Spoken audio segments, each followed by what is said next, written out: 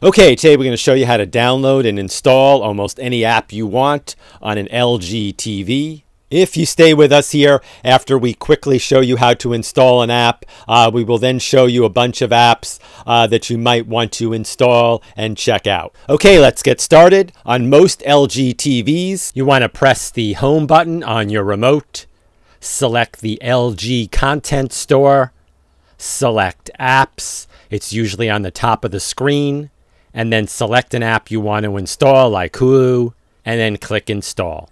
Okay, and now we're going to show you a few apps that we think you should check out.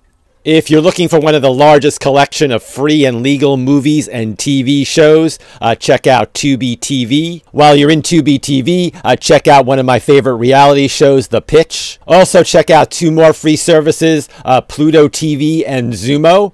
And if you haven't already, you may want to check out Peacock TV. They're one of the fastest growing streaming services, and they do allow you to access a lot of their content for free. That's our video for today. As always, thank you very much for watching, and please remember to subscribe.